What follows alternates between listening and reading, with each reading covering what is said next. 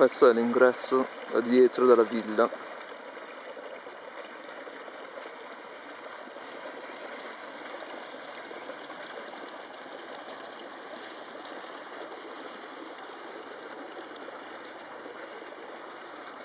Con tutto il suo parco dietro.